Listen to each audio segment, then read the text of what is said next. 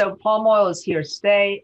Um, we've already talked about, uh, the, the other panelists have talked about using the land that's allocated for agriculture um, intensively and about yields, getting the most product out of the same parcel of land.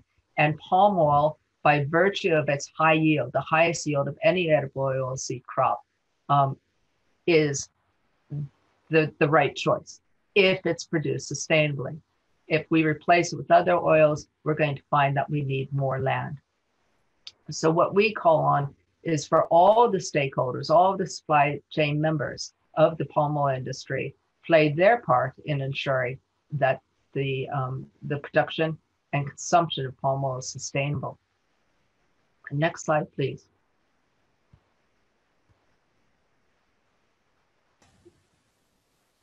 And again, my computer is slow, so maybe you're seeing the slide before I am. so uh, we are, we are. I'm so sorry. Um, so we've already talked about what sustainable palm oil means in the briefest of terms: no deforestation, no peat, no exploitation. Um, and of course, it's much more complicated than that. It's several, um, well, over 100 pages of, of indicators and so forth. Um, we, like most NGOs um, and experts working on this issue of sustainable palm oil, do not support a blanket boycott of palm oil for a number of reasons. First of all, it's quite um, impractical from a consumer's point of view. Uh, okay, here in the EU, uh, products, food products containing palm oil must declare, in fact, any vegetable oil that's used must be declared on the ingredients list on the package. Um, so you're going shopping, you need to read every every list. It's a bit of a hidden ingredient. It's not like picking up a jar of coffee or or a bar of chocolate um, where you're looking at the coffee or chocolate. You're going to find it as a hidden ingredient in about 50% of products, um, packaged products in, in the supermarket. And derivatives, of which there can be a few hundred of palm oil, are labeled um, using their uh, chemical names. So the idea of reading through labels of every single um, product you buy uh, and deciding whether you're going to purchase it or not is is not really practical from a consumer point of view. Now it's also ineffective. I, I really doubt that enough um, consumers around the world, in fact, despite calls uh, from well-meaning uh, uh, people for uh, boycotting palm oil, uh, that's not picked up any traction. It hasn't slowed down palm oil production one bit. Even companies that are using free from claims are not really making any impact, any positive impact on what's happening on the ground. Um, and the message, let's say you put your chocolate bar or your, your biscuit back on the shelf because it contains palm oil. And let's just say, for the sake of argument, that enough people do this that companies are compelled to look at their ingredients or, or, or the industry is going to change. Well, first of all, I, I, don't think it's going to get that message is going to get there. I think the message is, oh, we're not selling this product. We need to make a new advertising campaign or a different uh, packaging design.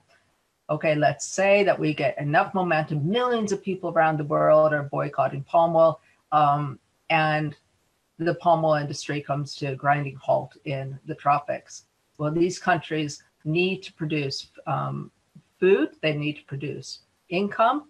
Um, they are feeding a global population. And remember, palm oil is the, the only affordable cooking oil for many rural poor in places like, like Indonesia. Um, so they will turn to another crop. And as we've shown in other slides and other presentation, these other crops are more land hungry. And that will put even greater uh, pressure on the uh, uh, forest and biodiversity. If you can go to the next slide, I forgot about my slides. And um, so we really call upon um, companies, manufacturers, retailers, um, supply uh, the the consumers to understand there's no quick quick fixes to um, the palm oil. The slow fixes is ensuring sustainable production and consumption um, the impacts of going away from palm oil and choosing alternatives are no solution. We believe that the best um, alternative to palm oil is sustainable palm oil. Next slide, please. Mm-hmm.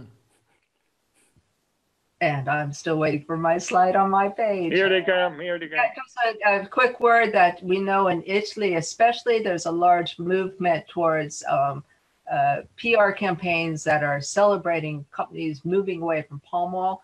Um, as as somebody concerned about the impacts on the ground, I find this uh, deceptive and counterproductive. Um, removing palm oil does not save save orangutans, does not save rainforests. Choosing sustainable palm oil does. Next slide, please. Um, I think it just talks about Yeah, the, the Uh, there are other reasons why uh, a boycott is not really a solution. We could talk more about that maybe in Q and A. And then the final slide um, is just say thank you and encourage people to be choosing sustainable palm oil as a way to sustainably feed the growing demand for for uh, oilseed crops across the, the world.